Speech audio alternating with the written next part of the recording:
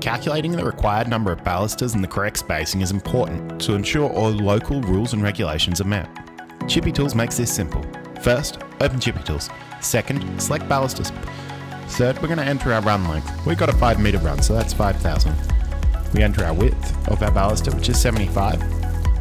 And then we need to enter the maximum spacing. There is a value provided, however, it's important you check that your local building regulations are met by this number.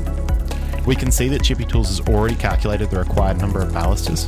If for aesthetic reasons you want more, you can easily add more. Chippy Tools will then recalculate. Chippy Tools has calculated the required balusters, the spacing between the balusters, and the spacing on centres. It also provides a list of our leading and centre spacing. The app has the ability to speak all of these measurements. To make setting out easy, simply tap the speak leading measurements or speak centre measurements, and the app will speak these out at a slow and consistent pace to allow you to mark out. For more carpentry and construction calculations made easy, check out Chippy Tools on the App Store today.